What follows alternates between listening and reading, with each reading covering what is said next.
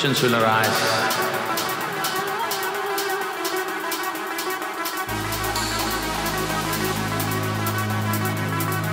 Am I really doing the right thing?